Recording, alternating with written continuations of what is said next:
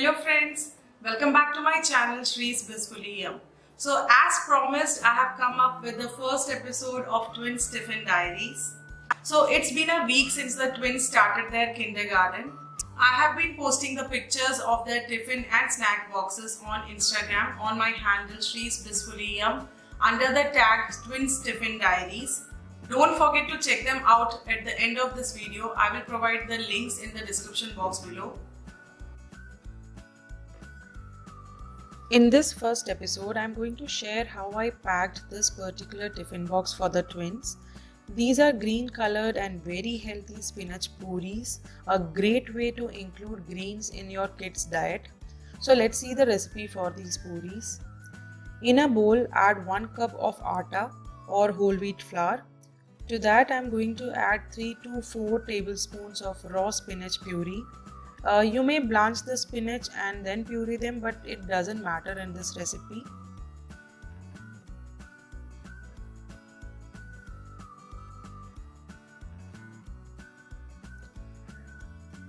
Quarter teaspoon of ajwain or carom seeds very good for our little one's digestive tract.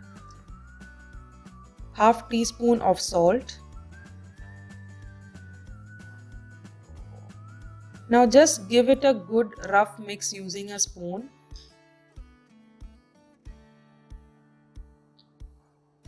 I'll switch on to my hand now and I will knead the dough using very little water just enough to get a smooth pliable dough. Note that adding too much water in the puri dough results in oily puris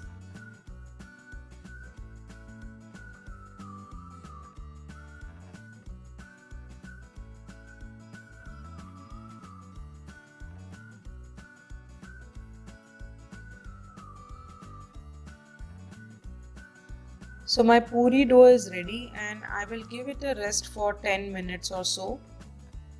After 10 minutes, add 1 teaspoon of oil to the dough and knead that in. So someone asked me if you can prepare the dough previous night and just make the puris before packing the tiffins.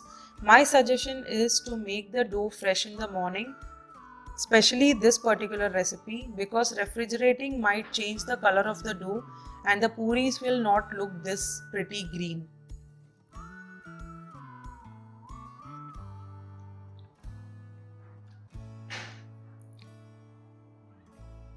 So our dough is ready and let's make the puris. Here I am rolling out a lemon sized puri dough into a big chapati. Dip the lemon sized ball in some atta and then roll out the chapatis.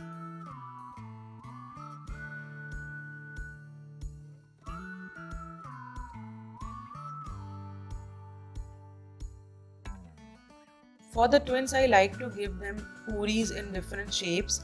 Today we are going with the circle cookie cutter. You can make individual small puris but this is much easier I think.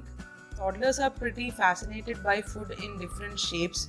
These you can cut in stars or hearts or whichever shape is your child's favorite.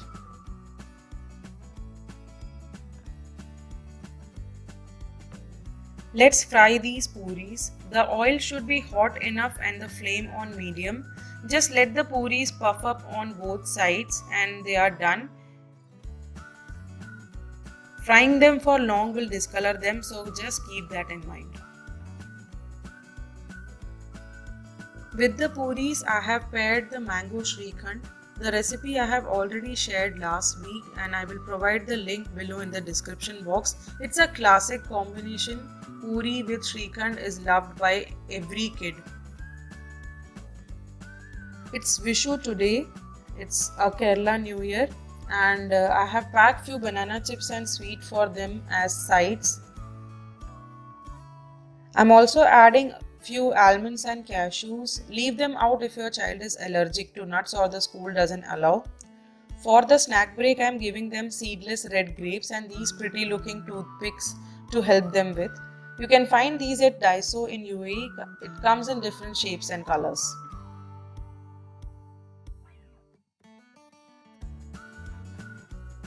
So that's it guys for the tiffin box. Let's see how it came back.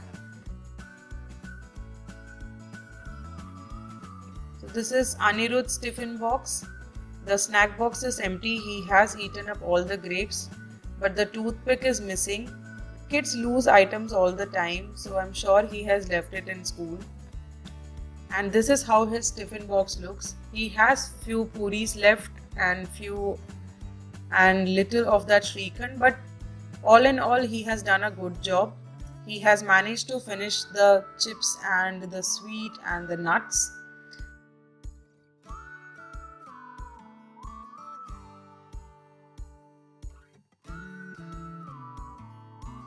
Let's have a look at Aniket's tiffin box. Again the snack box is empty and the toothpick is missing. Let's open this up. Okay, so he has managed to eat everything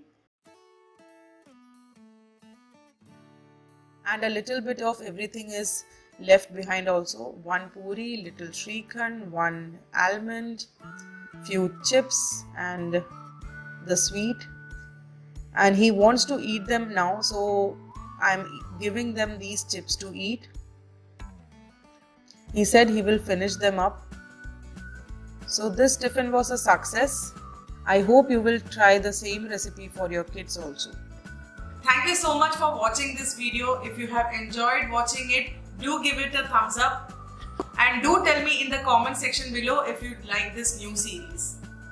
If you are new to the channel, do subscribe. I post a new video on every Monday at 4 pm and click that notification bell to get notified whenever I upload a new video.